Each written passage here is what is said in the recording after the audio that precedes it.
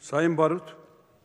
Partimizin dört Ad- Adana milletvekili adına konuşuyorum. Geçtiğimiz pazar günü Adana'da oynanan Adana Spor, Adana Demirspor karşılaşmasında CHP Adana milletvekilleri olarak keyfi bir uygulamaya maruz bırakıldık.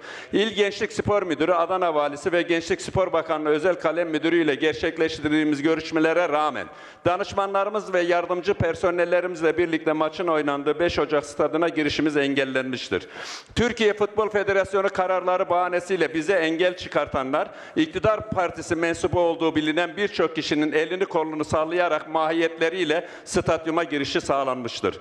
Bizler Ulu Önderimiz Mustafa Kemal Atatürk'ün egemenlik kayıtsız şartsız milletindir şiarıyla kurduğu mecliste büyük bir onurla görev yapıyoruz. Gazi Meclis'in üyeleri olarak meclisi ve işlevini itibarsızlaştırma girişimlerine asla sessiz kalmadık, kalmayacağız.